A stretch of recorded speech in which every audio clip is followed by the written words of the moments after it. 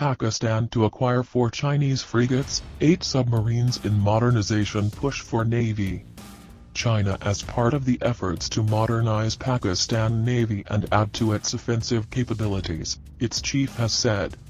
China on January 29 launched the second Type 054A-P multi-purpose naval missile frigate for the Pakistan Navy, PN.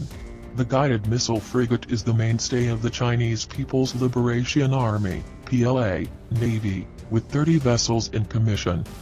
Chinese naval experts say the Type 054A, on which the Type 054A-P is based, is China's most advanced frigate with an improved radar system and long-range missiles. The Pakistan Navy has contracted the construction of four Type 054A-P frigates from China since 2017, and the first ship was launched in August 2020. As part of the modernization, the PN is replacing its existing aging platforms with acquisitions from friendly countries along with transfer of technology for their in-country construction, Admiral M. Amjad Khan Niazi told China's state-run Global Times. The PN and PLA, People's Liberation Army, Navy's historic and deep-rooted relations constitute a key element the PN has been operating Chinese origin platforms since the early 1970s. Cooperation between the PN and PLA Navy in various domains ranges from construction of naval platforms to bilateral exercises, training and high-level exchange visits, he said. Naval collaboration between the two countries has been strengthened with the procurement of F-22P frigates, fast attack craft, missile, helicopters and state-of-the-art survey ship, he said. The PN has also contracted construction of eight Hangor-class submarines, four Type 054A-P ships and medium-altitude long-endurance unmanned combat aerial vehicles from China, he said. The contract for acquisition of eight Hangor-class submarines was signed with China Shipbuilding and Offshore International Co. Limited of these, four submarines will be constructed in China while the other four will be built in Pakistan.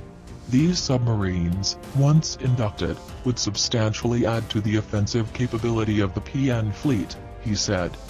With the changing threat dynamics and enhanced maritime security requirements, induction of modern and potent surface platforms like frigates, corvettes and offshore patrol vessels has assumed greater urgency, Niazi said.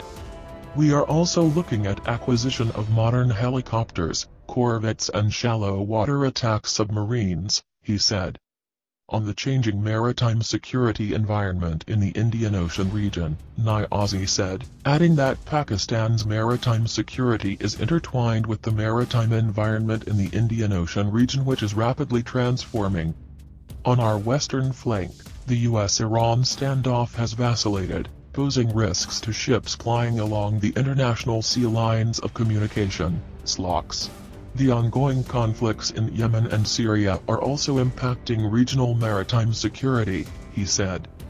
In the non-traditional domain and across the wider region, maritime terrorism, piracy, drugs trafficking and human smuggling are some of the major challenges being faced today. In short, the challenge to our regional maritime security is an ominous hybrid mix of traditional and non-traditional threats, he said.